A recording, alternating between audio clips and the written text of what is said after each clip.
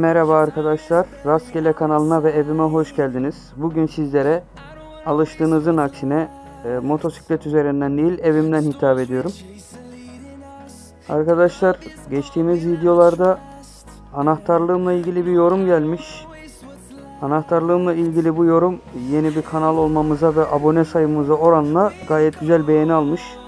Zannediyorum ki beğenenlerin hepsi aynı şekilde yorumu yapan arkadaş gibi yapımını merak ediyor. E, bildiğiniz üzere 2021'in ilk haftasında anahtarlığımı kaybettim. Motorun anahtarını değil ama bazı anahtarlarımın olduğu anahtarlığımı kaybettim. O anahtarlık da bunun aynısıydı. Tek farkı bunun iki ucunda da kanca var. Daha doğrusu bunun iki ucunda da halka var. Onun bir ucunda halka bir ucunda kanca vardı. Birbirine takıyordum bunları. Mevcutta kullanmıyorsam birbirine takarak taşıyordum. Şimdi e, buna benzer bundan biraz daha farklı bir anahtarlık yapacağım. Bu anahtarlık için kullanacağımız şey bir tane anahtarlık halkası. Matrix 6 somunlar. Arkadaşlar normalde bu anahtarlığı ben altıgen somunlarla yapıyordum. Ama çantamda bunları buldum. Kare somunlar. Bunları plakalığın arkasını sabitlemek için almıştım. Nereden aldığımı tam hatırlamıyorum ama onun için kullandığımı hatırlıyorum. O zaman hoşuma gitmişti. Anahtarlıkta nasıl durduğunu ben de bilmiyorum. Hep beraber göreceğiz. Ama altıgen anaht altıgen somunlarla bu anahtarlık gerçekten güzel duruyor. İkisini de deneyebilirsiniz. Şimdiden iyi seyirler diliyorum. Arkadaşlar elimde farklı renkler olmasına rağmen ben yine aynı renkleri kullanmayı düşünüyorum. Çünkü motoruma çok yakıştığını düşünüyorum. Elimde yaklaşık 1 metre kadar siyah, 1 metre kadar neon yeşil parakortik var. 40 40 santimetre civarında genelde yetiyor. Ben garanti olması açısından ortadan böleceğim.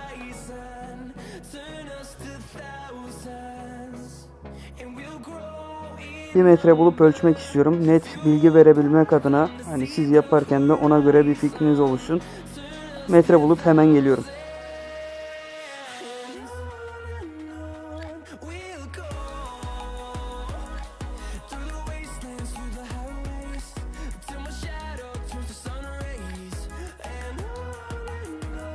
Arkadaşlar metre buldum.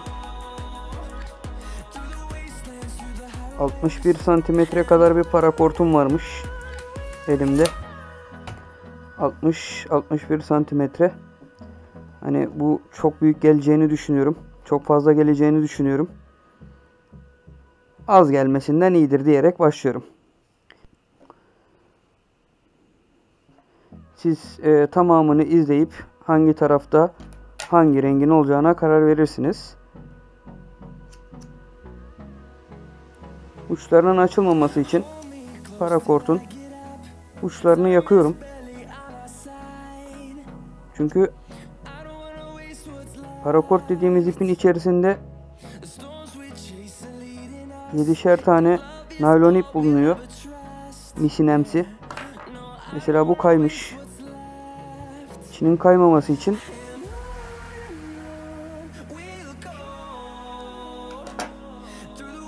Şunlarla birlikte ucunu yakmamız gerekiyor.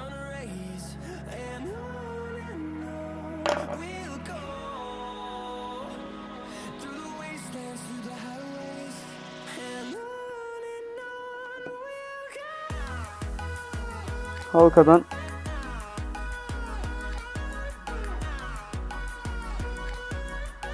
halkadan geçiriyoruz arkadaşlar.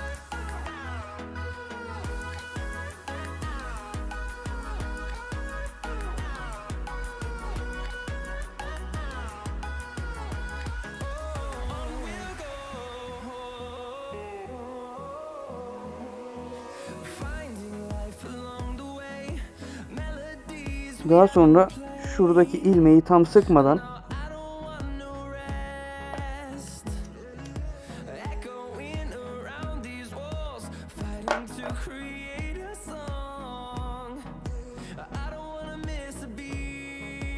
arasından diğer rengimizi de geçiriyoruz.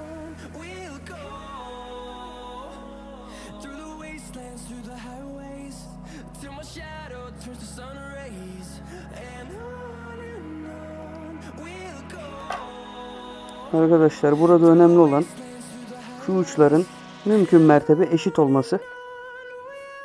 Benimki biraz daha uzun olduğundan çok önemli değil. Ama ne kadar eşit olursa o kadar güzel olur. Çünkü e, planladığımız somun sayısına ulaşmadan bitirmek zorunda kalabiliriz eşit olmazsa. Eşit olursa planladığımız gibi ilerler. Şimdi somunlardan geçireceğim için şu uçları biraz çapraz keserek sivriltiyorum.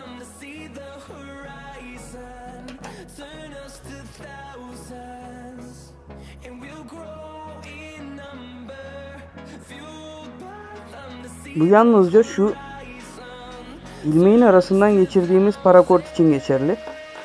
Diğerinde bunu yapmanıza gerek yok.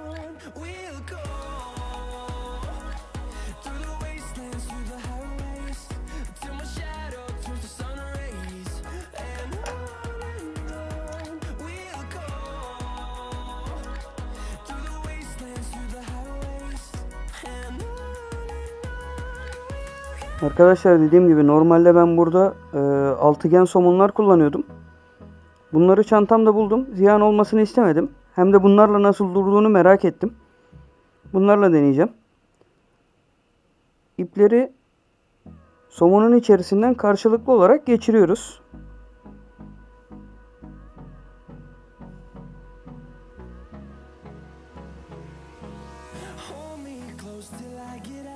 Burada önemli olan ilk ilmek yaptığımız yani benim için neon yeşili olan rengin her taraftan iki yanında kalması. Şimdi bu iki yanında kalan ipi şu geçirdiğimiz ip içeride kalacak şekilde yine kendi içinden de geçecek şekilde ortasından alıyoruz.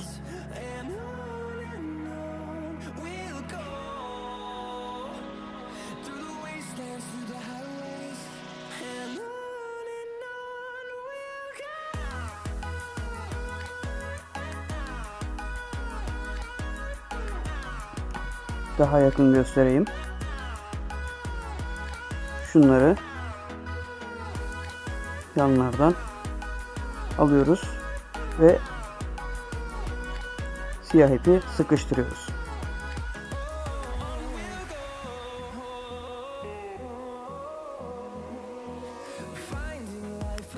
İlk somundan sonra yine aynı şekilde parakortlardan karşılıklı geçiriyoruz. Parakortları somunun içerisinden karşılıklı geçiriyoruz. Yine aynı şekilde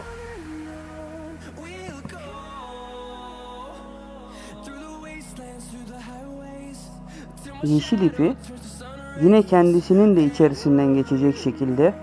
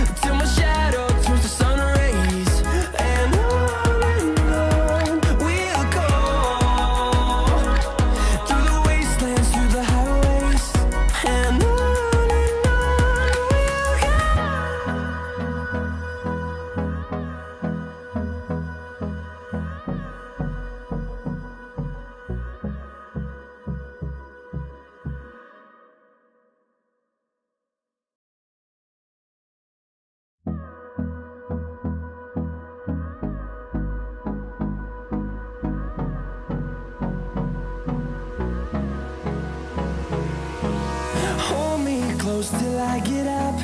Time is barely on our side. I don't wanna waste what's left.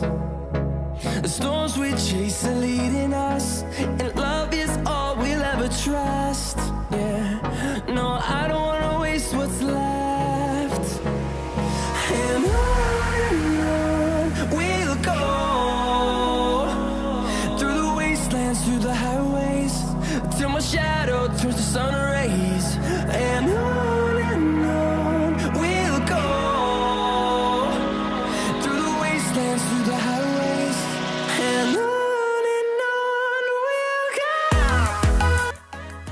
Arkadaşlar normalde buralarda normal somun kullandığınızda şöyle şöyle köşeleri görünüyor.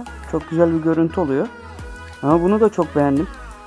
Düz sanki ortaya bir metal koymuşum gibi bir görüntüsü oldu.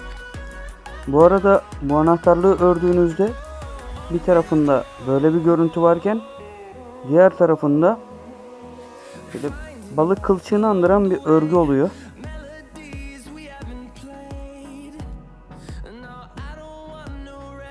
Bitirirken isterseniz her tarafını kesip yakabilirsiniz. Ben genelde birer düğüm yapıp sonra kesmeyi tercih ediyorum. Çünkü e, şuradaki metal kısım motorumuza vurduğunda bir ses çıkarıyor. Bu sesi sevmiyorum. O yüzden bir düğüm atıp sonrasında bitireceğim.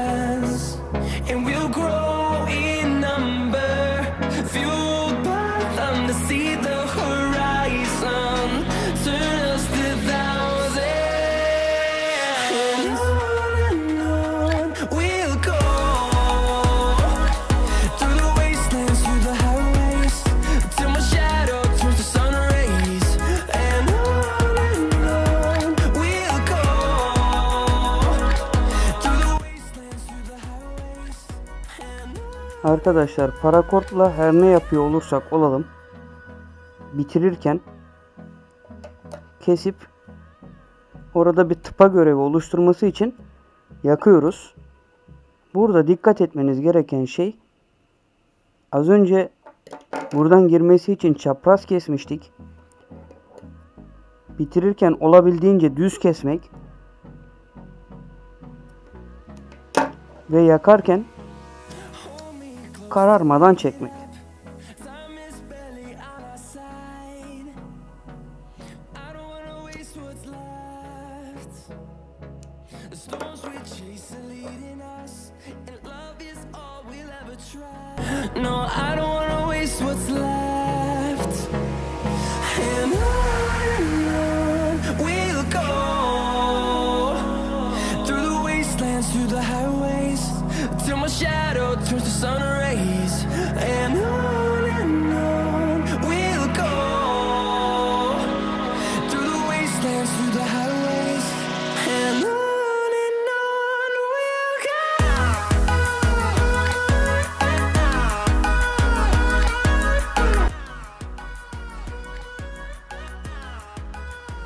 Arkadaşlar dediğim gibi normalde bunu bittiği yerlerden herhangi bir düğüm atmadan birleştiriyoruz.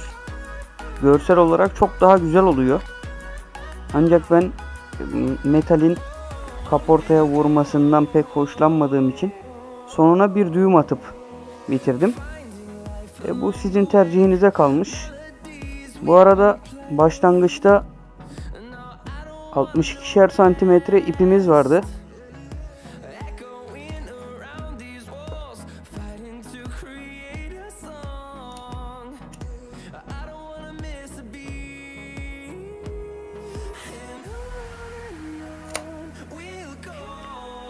7 santimetre ile 17 santimetre arasında iplerimiz kalmış. Yani ortalamasını 10 alırsak 50 santimetre civarında e, iki, iki tane ip gidiyor. Yani 1 metre iple e, bu anahtarlık yapılabiliyor. 1 metre ip ve 1, 2, 3, 4, 5 tane matrik 6 somun gerekiyor. Şu halkanın yerine herhangi bir şey koyabilirsiniz zaten. İlla bu halka olmak zorunda değil. Ben bir önceki anahtarlığımda kartvizit askılığı olarak kullanılan boyun askısının bir halkasını kullanmıştım. Çok da daha güzel olmuştu. Oynamıyor. Sabit. Yani buraya herhangi bir şey kullanabilirsiniz. Farklı modellerde daha önce anahtarlıklar yapıyordum. Eğer diğer modelleri de merak ederseniz zaman zaman paylaşmaya çalışırım. Kendinize iyi bakın arkadaşlar. Hoşçakalın.